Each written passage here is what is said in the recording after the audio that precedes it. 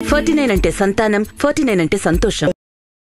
ఈ నెల పద్దెనిమిదిన బీఆర్ఎస్ ఆవిర్భావ సభ జరగబోతోంది. ఆ, ఈ సభకి ముగ్గురు సీఎంలు కూడా హాజరు కాబోతున్నారు. వివిధ రాష్ట్రాలకు సంబంధించిన సీఎంలు కూడా హాజరు కాబోతున్నారు. ఇది దేశ రాజకీయాలపై ఎలాంటి ఇంపాక్ట్ చూపబోతోంది? మాట్లాడదాం. మనతో పాటు సీనియర్ ఎడిటర్ తిలకపల్లి రవి గారు ఉన్నారు. యా నమస్తే సార్. నమస్తే అండి. సార్ జనరల్లీ అయితే కేసీఆర్ గారికి ఒక సెంటిమెంట్ ఉంది. ఐదర్ సిద్దిపేట్ ఆర్ కరీంనగర్ నుంచి ఏవి స్టార్ట్ చేసినా ఆ పార్టీకి సంబంధించిన కార్యక్రమాలు అక్కడి నుంచే స్టార్ట్ చేశారు. కానీ ఈసారి జాతీయ రాజకీయాల్లోకి వెళ్తూ కూడా ఖమ్మంని ఎందుకు చూస్ చేసుకున్నారు సార్? సిద్దిపేట తర్వాత కరీంనగర్లో ఆయన ఎక్కువ పెట్టిన మాట నిజమే కానీ వరంగల్లో కూడా చాలా పెద్ద సభ పెట్టారు ఆయన ఇదివరకు. సో అక్రాస్ తెలంగాణ కొంచెం కీలకమైన పాయింట్స్ తీసుకోవటం ఇక్కడ ఖమ్మం వచ్చేసరికి అదొక మిశ్రమ రాజకీయాలకు ప్రతిబింబం. అక్కడ కమ్యూనిస్టులకు బలమైన పునాది. కా కాంగ్రెస్ కూడా స్థానాలు ఉండేవి. నిజానికి టీఆర్ఎస్కే తక్కువ స్థానాలు ఉండేవి అక్కడ. ఆ తర్వాత నెమ్మదిగా తుమ్మల వీళ్ళంతా వచ్చిన తర్వాత పువ్వాడ వచ్చి ఇంకా అందరు వచ్చి అది స్థిరపడింది కానీ అదర్వైజ్ ఇప్పుడు కూడా ఉదాహరణ కొద్ది రోజుల కిందట. తుమ్మల ఉంటారా లేదా లేకపోతే ఈయన ఉంటారా లేదా వాళ్ళిద్దరికి మధ్య తగాదాలు ఏంటి ఇట్లాంటివి కూడా చర్చ జరిగింది కదా. సో రెండు విషయాలు కూడా దృష్టిలో పెట్టుకొని అక్కడ పెట్టి ఉండాలి అంటే మూడోది మునుగోడలో ఈ మధ్య కేసీఆర్ టీఆర్ఎస్ విజయం సాధించడానికి కమ్యూనిస్టుల మద్దతు కీలక పాత్ర వహించిందనేది అది అందరూ అంగీకరించిన అర్థమైన విషయం. కాబట్టి ఆ విధంగా చూస్తే కూడా ప్రధానంగా ఒక విధమైన వామపక్ష ఉద్యమ క్షేత్రంగా పేరు పొందిన తెలంగాణలో ఖమ్మంలో ఈ సభ పెడితే రైట్ మెసేజ్ వెళ్తుంది. రాష్ట్రానికే కాకుండా దేశానికి కూడా.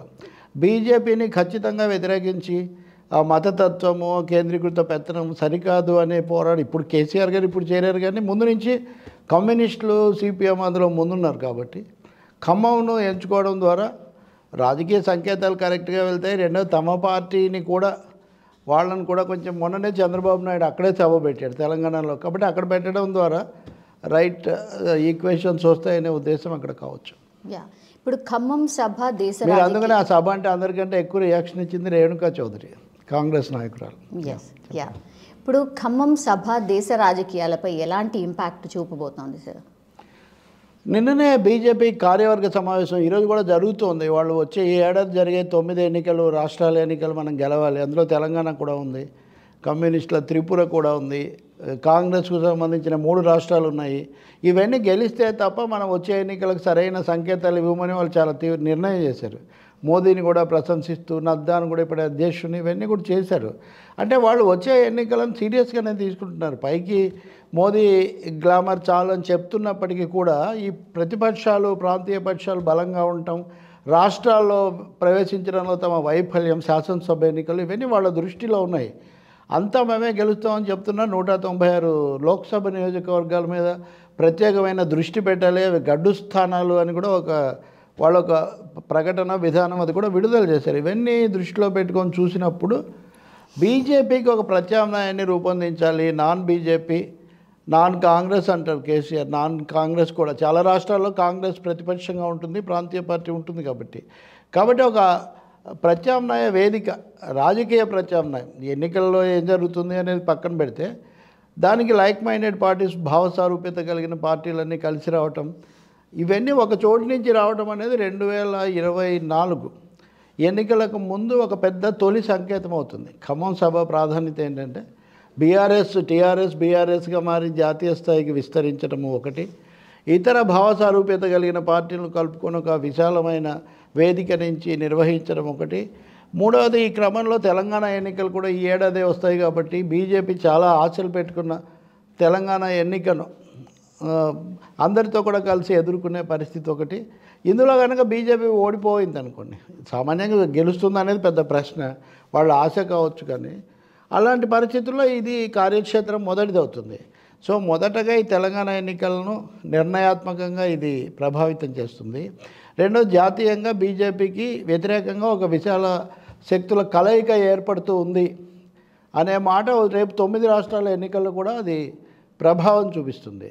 సో తొమ్మిది రాష్ట్రాల ఎన్నికలు తప్పకుండా గెలవాలని చెప్తున్న బీజేపీకి ముందుగానే దాన్ని ఎదుర్కొనే ఒక సవాల్ కూడా ఈ సభ విసురుతుంది. మనం కొంచెం వెనక్కి వెళ్తే ఎన్టీఆర్ ఉండగా నేషనల్ ఫ్రంట్ అని తర్వాత చంద్రబాబు తర్వాత ఆయన మరణానంతరం యునైటెడ్ ఫ్రంట్ అని దానికి ముందు కూడా తెలుగుదేశం సభల్లో ఎన్టీఆర్ ముఖ్యంగా చొరవ తీసుకొని జాతీయ నాయకులందరినీ పిలిచేవారు. చంద్రశేఖరరావు ఒక విధంగా ఎన్టీఆర్ అడుగుజాడల్లో నడుస్తున్నారని మనం అనుకోవాలి. అంటే ఎన్నికల ముందు చంద్రబాబు కూడా చేశారు. ఉదాహరణకు రెండు వేల పంతొమ్మిది ఎన్నికలకు ముందు ప్రధాని చంద్రబాబు అనే స్థాయి కానీ దానికి ఆ- ఆ శక్తి లేదు అప్పుడు. అప్పటికే ఒక డిఫెన్స్లో ఉన్న ఇక్కడేమో అట్లా కాదు అఫెన్సివ్లో అన్ని పార్టీలను కలిపే విధంగా చేస్తున్నారు. ఇంకొక ముఖ్యమైనది ఏంటంటే నితీష్ కుమార్ మమతా బెనర్జీ సభకు రాలేదు కానీ మిగిలిన జాతీయంగా చాలా కీలకమైన ఉత్తరప్రదేశ్ నుంచి తర్వాత వామపక్ష రాష్ట్రాల నుంచి వాళ్ళందరూ కూడా వస్తున్నారు కాబట్టి. చాలా విస్తృతమైన ప్రభావం ఆ విధంగా ఉంటుంది. యా ఇప్పుడు మోడీకి ధీటైన నాయకుడిని వెతుకుతున్న టైంలో సార్ విపక్ష సభ్యుల పిఎం అభ్యర్థిగా అంటే కేసీఆర్ని ప్రొజెక్ట్ చేసుకోవడానికి ఇదేమైనా సభని యూజ్ చేసుకోబోతోందా బీఆర్ఎస్? అంటే రెండు విషయాలండి. దేశంలో ఎప్పుడూ నాయకుడికి నాయకుడు అనే పద్ధతిలో పెద్దగా జరగలేదు భారతదేశ ఎన్నికలు. అంటే ముఖ్యంగా పోటాపోటీగా ఉన్నప్పుడు. నెహ్రూ ఆ తర్వాత ఇందిరాగాంధీ ఆ రాజ్యం అలాగే నడిచింది. కానీ ఎప్పుడైతే జనతా ప్రభుత్వం వచ్చి ఒక ప్రతిపక్షాలు కూడా కాంగ్రెస్ ఇతర ప్రభుత్వాలు మొదలయ్యాయో అప్పటి నుంచి ఎన్నికల ముందు సంఘటనలు ఎన్నికల తర్వాత అమెరికలు అలయన్సెస్ అవే ప్రధాన పాత్ర వహిస్తూ వస్తున్నాయి. నరేంద్ర మోదీని కూడా వ్యక్తిగా ఎన్నికలప్పుడు ప్రొజెక్ట్ చేశారు కానీ అంతకుముందు ఆయన మూడు సార్ల నుంచి గుజరాత్ ముఖ్యమంత్రిగా ఉండి చాలా కాలం చేస్తూ వచ్చారు. అందుకని ఇక్కడ మోడీ వర్సెస్ హూమ్ అని ప్రొజెక్ట్ చేయడం బీజేపీకే ఎక్కువ ఉపయోగం. గత రెండు సార్లు కూడా మోదీ వర్సెస్ రాహుల్ గాంధీ అని రాహుల్ గాంధీ అని అదొక వాళ్ళ ఎత్తుగడ కానీ మీరు అపోజిషన్ సైడ్ నుంచి చూస్తే అది ఉండదు. ఎక్కువ స్థానాలు గెలిచి దానికి ఇది కనీసం దరిదాపుకి వెళ్తే అప్పుడు ప్రధానమంత్రి వేట మొదలవుతుంది. So most of the time VP Singh నాయకత్వంలో జరిగిన ఎనభై తొమ్మిది ఎన్నికలు విపి సింగ్ చంద్రశేఖర్ని ఎదుర్కొన్నారు. ఎన్నికలు అయిన తర్వాత. జనతా అప్పుడు కూడా మొరార్జీ దేశాయ్ చరణ్ సింగ్ను జగ్జీవన్రామ్ని ఎదుర్కొన్నారు. కాబట్టి పోస్ట్ పోల్ అంటారే పోస్ట్ పోల్ అలయన్సెస్ ఎక్కువగా ఉంటాయి. అయితే మీరు అన్నట్టు బీఆర్ఎస్ కాల్చి ఉండొచ్చు. వాళ్ళు ఈరోజు వాళ్ళ పత్రికలో కూడా ప్రధాని అభ్యర్థిగా కేసీఆర్ అని కూడా వాళ్ళు పెట్టుకున్నారు. అది బీఆర్ఎస్ ఆశ బీఆర్ఎస్ ఆలోచన వాళ్ళకు ఉండొచ్చు. కానీ మిగతా పార్టీలన్నీ ఇప్పటికిప్పుడు కేసీఆర్ నాయకత్వాన్ని ఎండార్స్ చేసి వచ్చే ఎన్నికలు కేసీఆర్ నాయకత్వంలో ఎదుర్కొంటామని ప్రకటించేదాకా ఈ సభ వెళ్ళదు. అది ఇక్కడ ఉద్దేశం కూడా వాళ్ళ ఉద్దేశం ఉండొచ్చు కానీ మిగిలిన వాళ్ళకి అది ఉండదు. ఇంకోటి నేను ఇందాక మీకు చెప్పాను మమతా బెనర్జీ నితీష్ కుమార్ రావట్లేదని. ఎందుకు రావడం లేదు? అంటే వాళ్ళకు మేము కూడా మమతా కూడా ఒక ప్రయత్నం చేశారు. నితీష్ చాలాసార్లు బయట పెట్టుకున్నారు. ఆయన మోడీని కూడా వ్యతిరేకించారు. ఏది ఎన్డీఏలో ఉంటూ కూడా మోడీ ప్రధానమంత్రి అభ్యర్థిత్వాన్ని ఆయన వ్యతిరేకించారు. కేసీఆర్ విజయం సాధించిందంతా ఒక కేజ్రీవాల్ విషయంలో. కేజ్రీవాల్ గతంలో ఆయనతో పెద్దగా కలిసి రాలేదు ఇప్పుడు కేజ్రీవాల్ ఈ సభలో పాల్గొంటున్నారు. ఇద్దరు ముఖ్యమంత్రులు ఆపుకోలే ఎందుకు పాల్గొంటున్నారంటే అది కూడా చాలా స్పష్టమే. విజయన్ పినరాయి విజయన్ పాల్గొంటున్నారు. కమ్యూనిస్టులు వామపక్షాలు వాటి భావజాలం వాటికి ఉంటుంది కానీ ఎట్టి పరిస్థితుల్లో వాళ్ళు ముందుగానే ఎవరో ఒక వ్యక్తిని బట్టి వాళ్ళు వెళ్ళరు విధానాన్ని బట్టి వెళ్తారని. సో ఆప్ కూడా ఆ కోణంలోనే వస్తుంది. సభలో బీజేపీని వ్యతిరేకించే శక్తిగా పెరగాలి అనే ఒక పిలుపు వస్తుంది కానీ కేసీఆర్ ప్రధాని అభ్యర్థిగా ఉండాలి లాంటిది ఇక్కడ రాదు. ఈ సభ దానికి సందర్భం కూడా అవ్వదు. కానీ ఇప్పుడు ఆప్కి సంబంధించిన వాళ్ళు వాళ్ళు సీఎంలు సార్. దెన్ పినరయ్ విజయన్. మీరన్నట్టుగా సీఎం. సో సీఎంలు వచ్చినప్పటికీ ఆ ఇంపాక్ట్ చాలా ఎక్కువగా ఉంటుంది. అండ్ యూపీకి సంబంధించిన మాజీ ముఖ్యమంత్రి అఖిలేష్ యాదవ్ వస్తున్నారు. UP big state.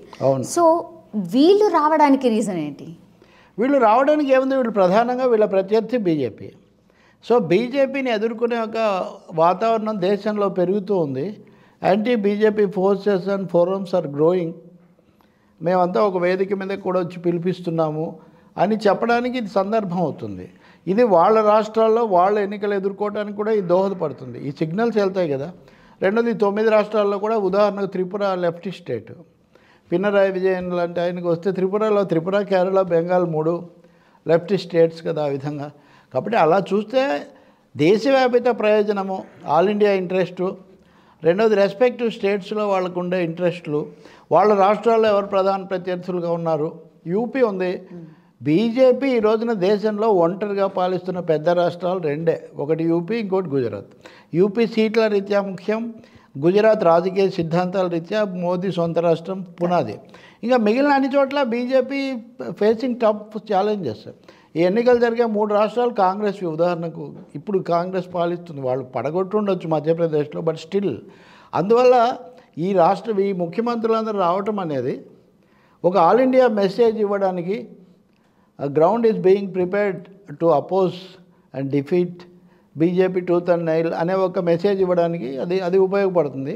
దానికి సీనియర్ ముఖ్యమంత్రిగా రాష్ట్రాన్ని సాధించిన నాయకుడిగా ఉన్న చంద్రశేఖరరావు లాంటి ఆయన సారథ్యం వహిస్తున్నారు కాబట్టి సహజంగా వాళ్ళు బహుశా ఇలాంటివి ఇతర రాష్ట్రాల్లో కూడా జరుగుతాయి.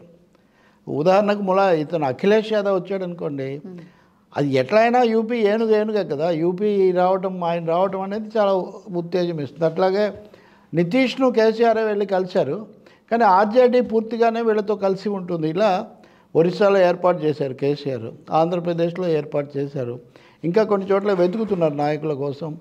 అట్లా ఒక going with a big bang of opposition unity after a long gap అది that will be its national impact ఆ ముఖ్యమంత్రులకు ప్రత్యక్షంగా కలిగే లాభమే ఉండదు కానీ in their struggle against BJP ఇది ఒక షార్ట్ ఇన్ ది ఆమ్ లాగా ఉంటుంది. సార్ బీఆర్ఎస్ జాతీయ రాజకీయాలకు సంబంధించిన సభ అయినప్పటికీ ఫస్ట్ మనకు వస్తోంది తెలంగాణలో ఎలక్షన్స్. సో. తెలంగాణలో ఇంపాక్ట్ ఎట్లా ఉంటుంది? ఖచ్చితంగా అండి తెలంగాణ ఇంపాక్టే వీటన్నిటిని కూడా నిర్ణయిస్తుంది. ఎందుకంటే ఒక ప్రాంతీయ పార్టీగా ఉండి ఇప్పుడు జాతీయ పార్టీ అయినా ఇంకా విస్తరించాల్సి ఉంది. సో సోదర రాష్ట్రం ఆంధ్రప్రదేశ్లో ఇరుగు పొరుగు రాష్ట్రాలు కర్ణాటక మహారాష్ట్ర ఇట్లాంటి చోట చేసి కొంత పెరగచ్చు తొలి అడుగులు వేయచ్చు అని కేసీఆర్ ఆయన పార్టీ భావిస్తూ ఉన్నారు. కానీ అవన్నీ జయప్రదం కావాలి అంటే తెలంగాణ ఎన్నికల్లో వాళ్ళు బలమైన ప్రభావం చూపించాలి. ఉదాహరణకు మీరు ఎనభై తొమ్మిది తీసుకుంటే ఎన్టీఆర్ నేషనల్ ఫ్రంట్ అధ్యక్షుడిగా ఉన్నప్పటికీ ఆంధ్రప్రదేశ్లో రెండు సీట్లు తమిళనాడులో డిఎంకే రెండు సీట్లు ఏజీపీ ఒక సీట్ ఇలా గెలిచేసరికి వీళ్ళ ప్రభావం చాలా తక్కువగా ఉండింది ఆ ప్రభుత్వం మీద. అలా జరగకూడదు అంటే సొంత రాష్ట్రం మీద. అంటే వీళ్ళ ప్రధాన కార్యక్షేత్రం తెలంగాణనే అవుతుంది. కేసీఆర్ ఈ సమయంలో ఈ నినాదం తీసుకొని అందరినీ కలపడంలో తెలంగాణ ఎన్నికలు కూడా ప్రధానంగా ఆయన దృష్టిలో ఉన్నాయి. కాబట్టి ఖచ్చితంగా ఇది బీజేపీ వ్యతిరేక శక్తులకు ఊపించే విషయం అవుతుంది. ఉదాహరణకు టీఆర్ఎస్ వామపక్షాలు కలిసి పోటీ చేస్తాయి అనుకుంటే ఒక వ్యతిరేక వాతావరణం దేశవ్యాప్తంగా వస్తుంది మేము పోరాడతాం అనే సం సంకేతం ఇవ్వడం అన్నది వాళ్ళకు ఉన్నటువంటి అప్పీల్ను లేదా వాళ్ళకున్న మద్దతును పెంచడానికి తప్పకుండా దోహదపడుతుంది. సో ఇది దేశవ్యాప్త ప్రభావం పరిమితంగా ఉన్న తెలంగాణ మీదే చాలా ఎక్కువ ప్రభావం చూపించేటటువంటి అవకాశం చాలా ఎక్కువగా ఉంటుంది. రెండవది బీజేపీ మేము వచ్చేస్తాం వచ్చేస్తాం అనే వాతావరణం వాళ్ళు సృష్టిస్తున్నారు. చాలామంది అడుగుతుంటారు వస్తుంది కదండి నేను అంటే ఎలా వస్తుంది? కచ్చి చచ్చి చెడి మూడు సీట్లు మటుగా గెలిచిన ఒక పార్టీ ఒక్కసారిగా అధికారానికి ఎలా వస్తుంది అంటే త్రిపురలో వచ్చాము లేకపోతే ఇంకెక్కడో హర్యానాలో వచ్చామని చెప్తుంటారు. వాటికి ఇక్కడికి చాలా చాలా చాలా తేడా ఉంది. ఇక్కడ బలమైన ప్రభుత్వం బలమైన నాయకత్వం ఇవన్నీ కూడా ఉన్నాయి. అందువల్ల టీఆర్ఎస్కు ఇది ప్లస్ అవుతుంది ఈ సభ. వచ్చే ఎన్నికల నాటికి. బహుశా దీన్ని మళ్ళీ ఎదుర్కోవడం కోసం అమిత్ షా వస్తాడని మోదీ ఇక్కడి నుంచి పోటీ చేస్తాడని ఏవేవో స్టోరీస్ మనం వింటున్నాం. ఈ కథలు చాలా వరకు పటాపంచలు అవుతాయి. ఈ సభ తర్వాత ఆ తర్వాత వాళ్ళు ఏ మేరకు ప్రజలను ఆకట్టుకుంటారన్న దాని మీద తప్ప ఇంకోటి అలాగే చంద్రబాబు ఖమ్మంలో సభ పెట్టాడు. చాలా పెద్ద సభ జరిగింది. తెలంగాణలో మళ్ళీ తెలుగుదేశానికి పునర్వైభవం వస్తుంది. ఇట్లా చాలా వింటున్నాం కదా. మరి అక్కడ సభ పెట్టడంలో అది కూడా ఉంది ఈయనకు. అంటే మిశ్రమ సరిహద్దు జిల్లా కాబట్టి ఆ ఓట్లు అటు ఇటు ఆ ప్రభావాన్ని కూడా తట్టుకోవాలనేది కూడా ఆయన సభ పెట్టడంలో ఉంది. ఖచ్చితంగా ఇది టీఆర్ఎస్ వ్యూహంలో పెద్ద ముందడుగు అవుతుంది. వాళ్ళకి చాలా ఉపయోగపడే అంశం అవుతుంది. ఎన్నికలను కూడా ప్రభావితం చేస్తుంది. అంటే చివరి మాట చెప్పాలంటే రెండు వేల పద్దెనిమిదిలో దేశకి నేత కేసీఆర్ అంటూ ఎన్నికల్లో దిగారు మొదలు పెట్టినప్పుడు. కానీ తర్వాత మోదీ వచ్చిన తర్వాత అదంతా వెనక్కిపోయింది. దాన్ని విరమించుకున్నారు దాదాపు. ఇప్పుడు అసలు దేశకి నేత అనే కాకుండా దేశకి పార్టీ అన్న స్థాయిలో రావడం ద్వారా దీని ఫ్రేమ్ కూడా చాలా ఎక్స్టెండ్ అవుతుంది. రెండోది బీజేపీని జాతీయంగా వ్యతిరేకించే సెక్షన్స్ ఏవైతే ఉన్నాయో అవి రాష్ట్రంలో ఉన్నవన్నీ కూడా సాలిడ్గా టీఆర్ఎస్ ఆకర్షించే అవకాశం కూడా ఏర్పడుతుంది. Okay sir. Thank you so much sir. Thank you.